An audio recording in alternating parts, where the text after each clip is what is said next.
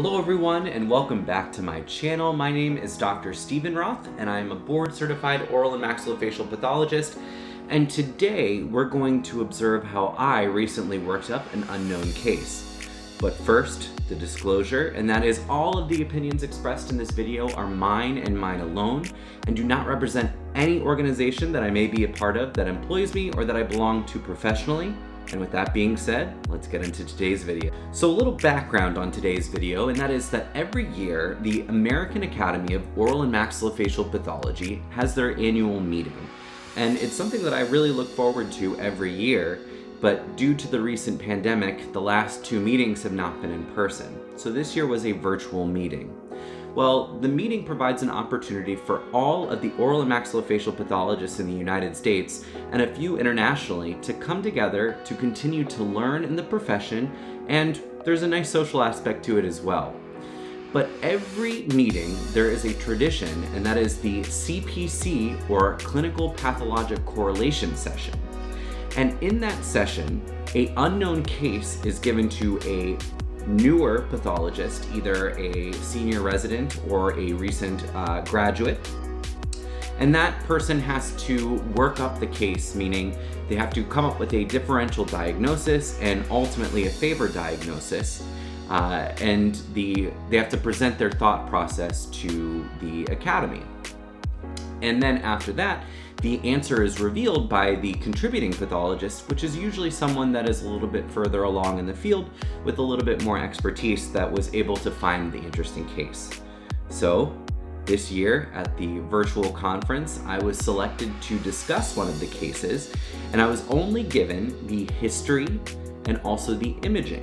So today, I'll show you what I had prepared for the annual meeting so you can see exactly what my thought process was and maybe model your own approach to an unknown case based on what I did. And with that, take it away, Stephen. Hello everyone, my name is Dr. Stephen Roth and I'm a member of the full-time oral pathology faculty at Northwell Health Long Island Jewish Medical Center and I'll be presenting CPC number 2. This was the case history that I was given. This is a 52-year-old male who reports a sense of facial pressure and increased difficulty breathing through the nose for the past 8 months, with occasional headaches. Imaging reveals a 5.2 centimeter greatest dimension polypoid mass within the nasopharynx and left posterior nasal cavity. Scope and clinical evaluation reveal no other pathology to include no lymphadenopathy. Here we have the first image that was given to me. This is a coronal bone window of a sinus CT, and we can appreciate that the septum is deviated to the left. There's minimal mucosal thickening of the floor of the maxillary sinuses, otherwise there's no other antral involvement. The left inferior nasal concha is asymmetrically larger than the right, and the left inferior nasal meatus is opacified and focally filled with gaseous bubbles.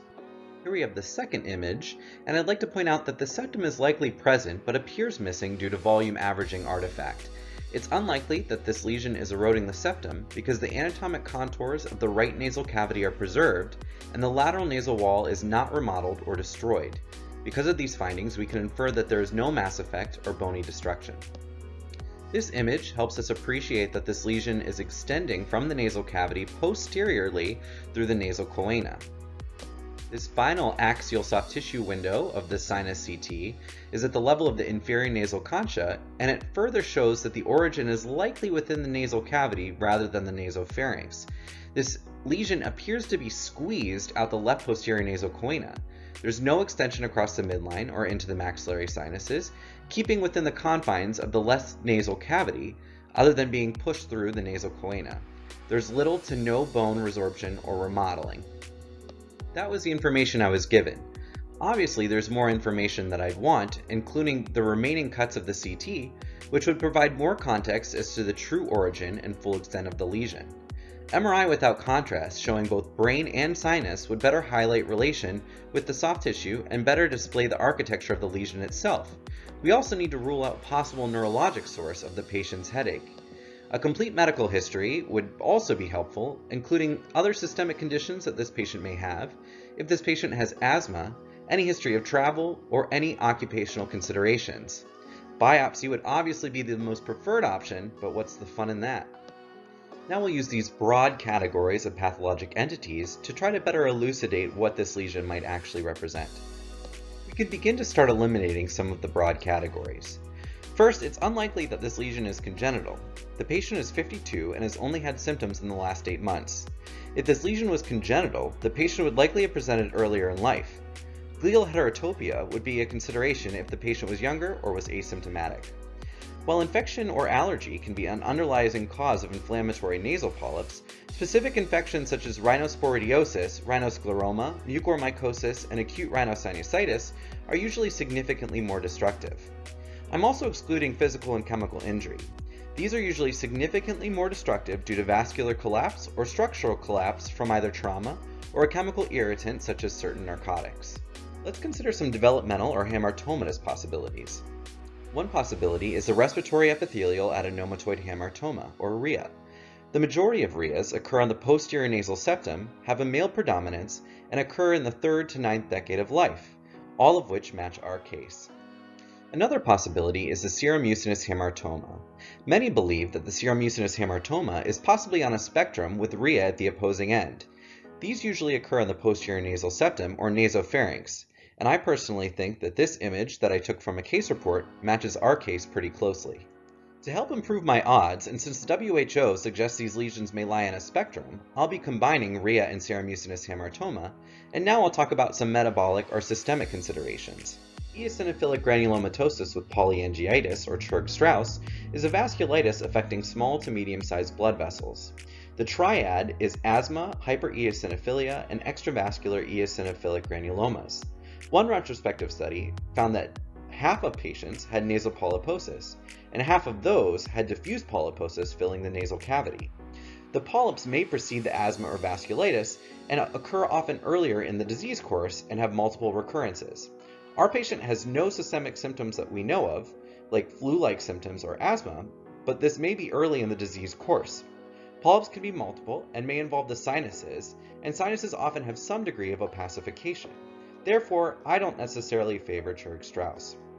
It's important to note that granulomatosis with polyangiitis, also known as Wegener's granulomatosis, presents similarly, however is much more destructive. Churg-Strauss initially presents with polyps before the vasculitis, which can be destructive as the condition progresses. Cystic fibrosis is another consideration, and over 90% of patients with CF exhibit radiologic evidence of sinus mucosal involvement.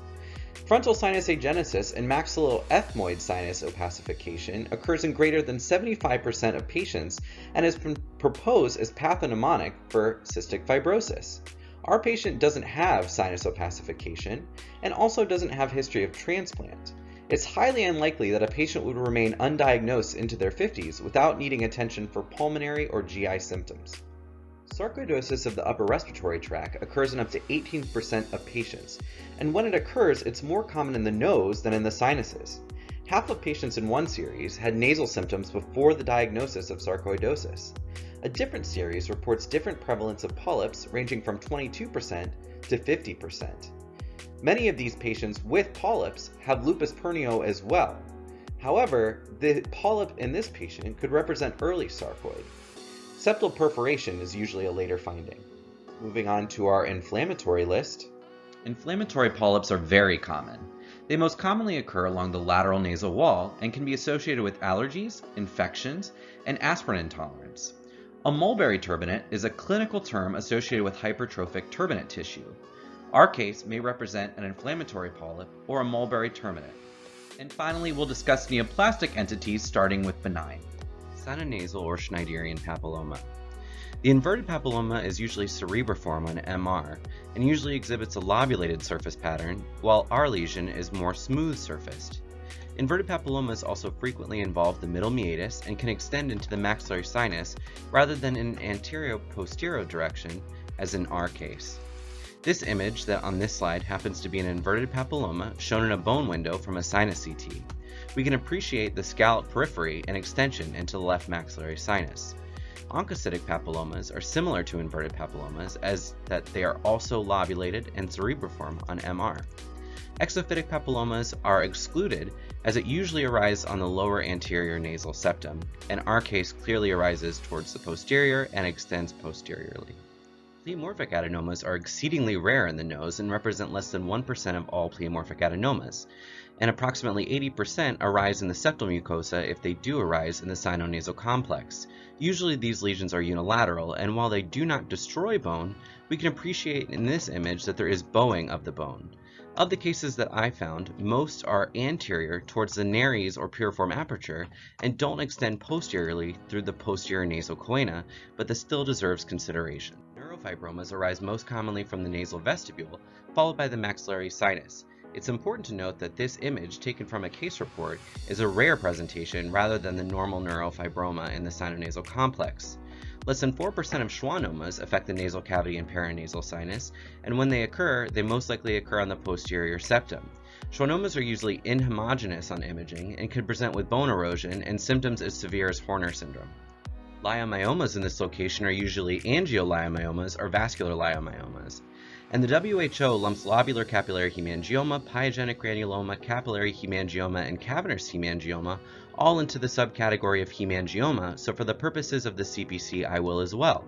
Incident peaks are adolescent males and pregnant women, of which our patient is neither. However, hemangiomas represent 25% of non-epithelial sinonasal tract neoplasms and deserve consideration now a borderline or intermediate lesion.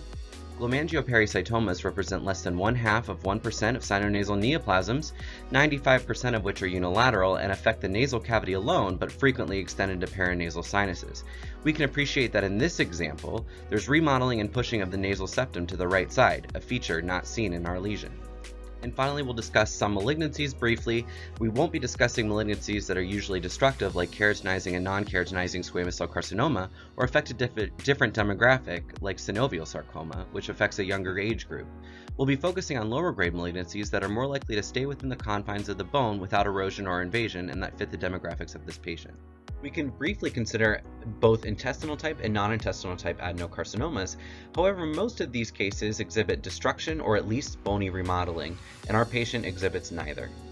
Many salivary gland malignancies have been identified in the nasal cavity, all of which are exceedingly rare but deserve some consideration. No CPC would be complete without the great mimicker mucosal melanoma. This case happens to represent a 52-year-old man as well. A final list of the possibilities. Since I have to narrow it down to one diagnosis, I've decided to narrow it down to two, a horse and a zebra. My horse diagnosis is inflammatory polyp, my zebra diagnosis is RHEA or seromucinous hamartoma, and like the zebra, I expect to be devoured by this lion of a case. I wanted to briefly acknowledge all of the wonderful mentors, both in New York and in Ohio, who helped me get to where I am today, and thank the Academy for the opportunity to present this case. So there you have it. A big thank you to Dr. Mikkel Koenig at Incyte Diagnostics in Spokane, Washington, who provided the case. And now I bet you're wondering how I did. So, what was the answer? This lesion was actually a glomangiopericytoma, which I did mention, uh, but was not my favorite diagnosis. Now, glomangiopericytoma is thought to be derived from pericytes, and pericytes are cells that wrap around vessels and support them. There's a few theories as to what their natural functions are in the body, one of which is that they regulate the blood flow for temperature regulation, and another is that they help in angioneogenesis, or the creation of new blood vessels. Now, the glomangiopericytoma happens in the sinonasal complex, most commonly the nose, and is actually very beautiful under the microscope. It looks like this streaming blue cells uh, with some intermixed staghorn or sparsed vessels within it. And it is one of my favorite lesions as well, and I was thinking about guessing it, but in the end, went with my gut uh, and chose the, the selections that I did. Now, the glomangiopericytoma is an intermediate lesion, meaning that there is a very, very high likelihood of local recurrence but very limited metastatic potential and cause of death. So not quite benign, not quite malignant. So there you have it. Very often it's the oral pathologist that's trying to get you to come up with a differential, but now you get to see what happens when the tables are turned and the oral pathologist has to come up with the answer. So I hope that this was helpful in figuring out how you should approach an unknown case. And if you think this video is helpful, then please give it a thumbs up and subscribe and share it with someone else that might, might find it helpful as well. And with that, Be well.